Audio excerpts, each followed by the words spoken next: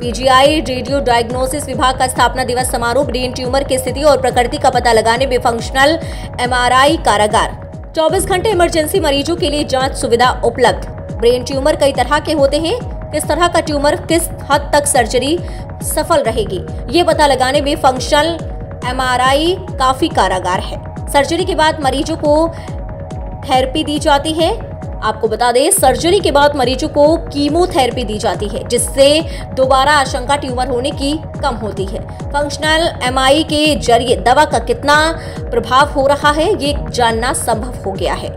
संस्थान में एमआरआई को स्थापित करने वाले विभाग के पूर्व प्रमुख रहे मेदांता के एमआरआई निदेशक प्रोफेसर आर के गुप्ता ने बताया कि टेम्पोरल ब्रेन ट्यूमर में नई विधा पर विशेष व्याख्यान संस्थान के रेडियो डायग्नोसिस विभाग के अड़तीसवें स्थापना दिवस पर देते हुए बताया कि ब्रेन ट्यूमर विभाग के किसी भी हिस्से में हो सकता है। ट्यूमर की सही स्थिति जानने बिना सर्जरी संभव नहीं होती।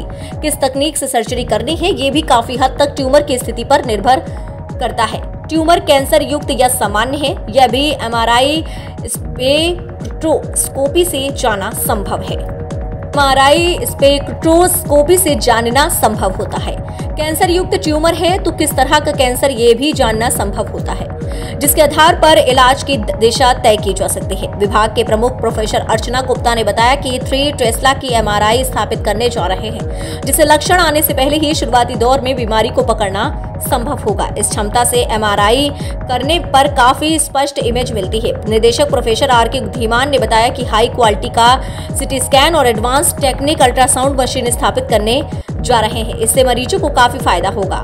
वरिष्ठ तकनीकी अधिकारी सरोज वर्मा ने बताया कि उन्नीस सौ छियासी में आज ही के दिन पहला एक्सरे हुआ था, जिसके बाद विभाग में लगातार सुविधाएँ बढ़ती गई।